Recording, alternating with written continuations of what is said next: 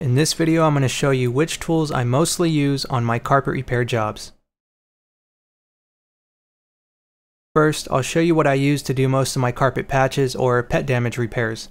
I was using my Black & Decker steam iron, accompanied with regular seaming tape. But an awesome friend of mine, Christian, bought me a Cool Glide to use, so I've really been into that. Along, of course, with the Cool Glide tape, different iron, different tape. I use a smooth roller as opposed to the star roller.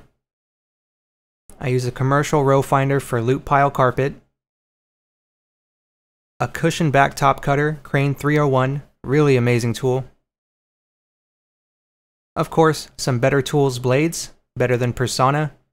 A framing square, you can probably tell I need a new one. And of course, my pouch with my stair tool, scissors, pliers, and an Orcon carpet knife. And that's pretty much it for what I use to do carpet repairs most of the time. Now for my carpet stretching tools, if there's furniture involved, I'll use my Lift Buddy, as well as furniture sliders.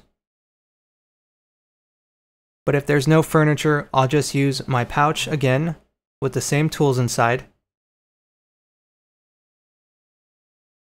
a kicker just for small areas and for adjusting the power stretcher, and this awesome tool, the Easy Tuck by Taylor Tools.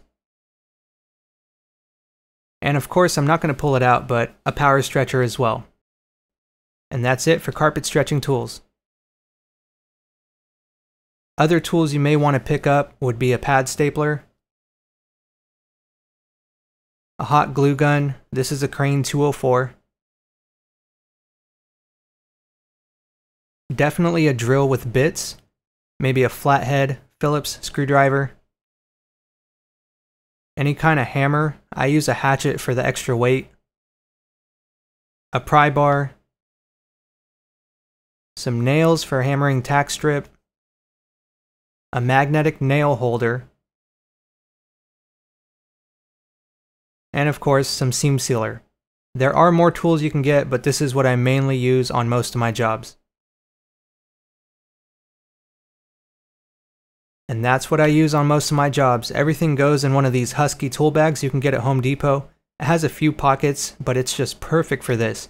It has straps or handles to carry it, and this is pretty much all I take into a house when I do a job. You don't need to take a garage of tools to do a repair, just something really simple, and that's what I like.